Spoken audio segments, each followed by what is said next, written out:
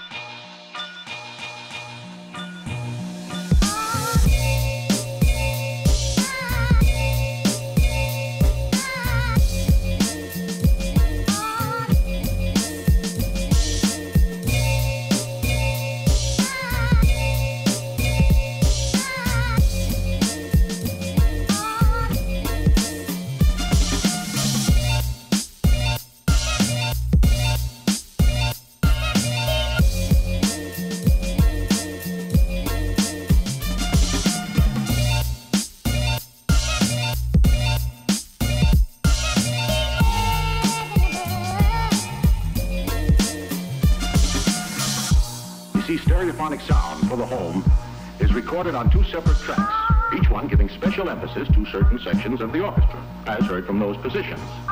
Now, when played back simultaneously on two separate systems, the sounds are blended together to achieve a new dimension in sound, impossible to obtain in a monaural recording.